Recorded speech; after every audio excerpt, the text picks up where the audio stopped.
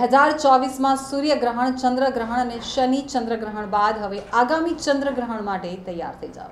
ખગોળશાસ્ત્રીઓના મતે વર્ષ બે હજાર ચોવીસનું આગામી ચંદ્રગ્રહણ સત્તર અઢાર સપ્ટેમ્બરે થવાનું છે.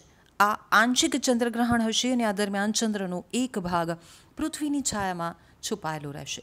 ચંદ્રગ્રહણ એ ખગોળીય ઘટના છે જ્યારે પૃથ્વી સૂર્ય અને ચંદ્રની સીધી રેખા વચ્ચે આવે છે.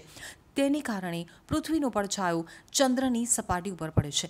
અને ચંદ્રનો તે ભાગ દેખાતો નથી.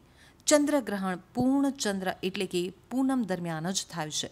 આ ચંદ્રગ્રહણ અઢાર સપ્ટેમ્બરના રોજ દેખાશે, જે હાર્વેસ્ટ મૂન અથવા સુપરમૂન હશે. આ એટલા માટે છે કારણ કે તે ઉત્તરીય ગોળાર્ધના પાનખર સમપ્રકાશીયની સૌથી નજીક હશે. સમપ્રકાશીય વર્ષમાં બે વાર થાય છે. આ સમય દરમિયાન સૂર્ય વિષુવવૃત્તની ઉપર હોય છે. જેના કારણે દિવસ અને રાત સમાન લંબાઈના હોય છે. તો ઉત્તરીય ગોળાર્ધમાં વિષુવવૃત્તિ બાવીસ અથવા ત્રેવીસ સપ્ટેમ્બરે થાય છે. જ્યારે સૂર્ય તેના દક્ષિણમાં આકાશે, વિષુવવૃત્તને પાર કરે છે. દક્ષિણ ગોળાર્ધમાં વિષુવવૃત્તિ વીસ અથવા એકવીસ માર્ચે થાય છે, જ્યારે સૂર્ય આકાશી વિષુવવૃત્તની ઉત્તરે ખસે છે.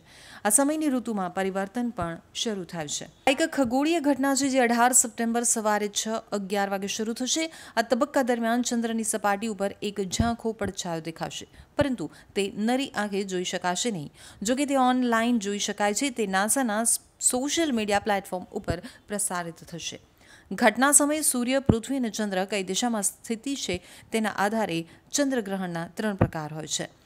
ફૂલ ચંદ્રગ્રહણ એટલે કે પૃથ્વીનો પડછાયો ચંદ્રની સમગ્ર સપાટી ઉપર પડે છે અને તે સંપૂર્ણપણે અદ્રશ્ય થઈ જાય છે.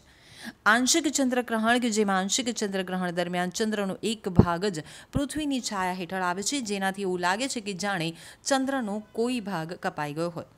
એ સિવાય ઉપછાયા ચંદ્રગ્રહણ એટલે કે પેનબ્રલ ચંદ્રગ્રહણ. આ દરમિયાન પૃથ્વીના પડછાયાનો આછો બાહ્ય ભાગ ચંદ્રની સપાટી ઉપર પડે છે.